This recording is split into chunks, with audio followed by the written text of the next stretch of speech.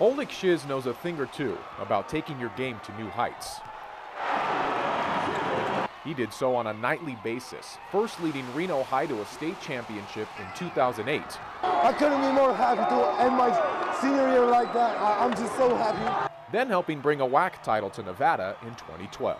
I'm really proud of everyone. We've made huge strides, and if we didn't do that, we, we would not would not get here. Next came five years of professional ball, both in the States and overseas, but two knee surgeries sidelined Czyz this season, so he's back in the biggest little city, giving back as a one on one trainer. Good.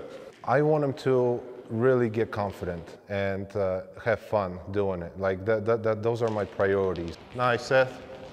Good. Since coming to Reno from Poland at age 14, basketball has been a lifestyle for Czyz. And now, half a life later, the 6'8 forward is paying it forward. You understand what it's like for those kids coming in and, you know, how much, you know, it means to them to have somebody, you know, working with them and uh, how much joy it brings them. It brought me a lot of joy when I was a kid. And he's got a lot of knowledge Good. to dish out. Try to keep your eyes up, shoulders back, full chest.